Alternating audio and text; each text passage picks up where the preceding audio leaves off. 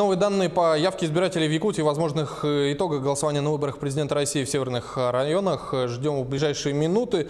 Ну, пожалуй, напомним, что 17 марта в Якутии завершилось досрочное голосование. В основном эта мера коснулась жителей отдаленных территорий. Например, в Жиганском районе избирательным правом воспользовались 455 человек, члены родоплеменных общин оленеводы и сотрудники компании «Алмаза Набара».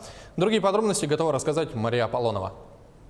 По данным ТИК, в Жиганском районе находится всего 3234 избирателей. Из них подано в ТИК, УИК, МФЦ всего 290 заявлений от граждан, находящихся в местах временного пребывания и вне места своего жительства. Сегодня с 8 часов утра открылись 5 участковых избирательных участков района. Жители Северного края активно идут голосовать в свои избирательные участки. В течение дня по мере поступления заявок члены избирательного участка выезжают по предприятиям на дому принимать голоса от граждан, которые по уважительным причинам не могут подойти в участок. Ну, у нас на участке люди очень активные сегодня на выборах. С 8 утра народ идет идет. Выездные бригады у нас работают.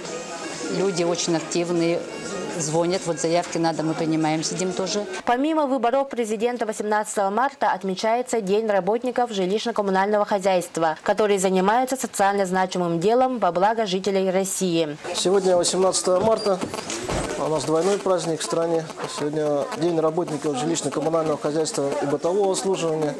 Я хочу поздравить э, всех, кто работает в этой сфере. В участок номер 180 села Жиганск впервые в жизни пришли принять участие в выборах молодые люди, у которых совершеннолетие совпало со значимыми в стране выборами. А, 7 марта мне исполнилось 18 лет, и я сегодня пришел проголосовать за своего кандидата выборах президента Российской Федерации. И этот момент мне запомнится на всю жизнь. Все жители Жиганского района, как и все граждане всей России, с волнением ждут оглашения результатов голосования. Мария Аполлонова, Жиганск.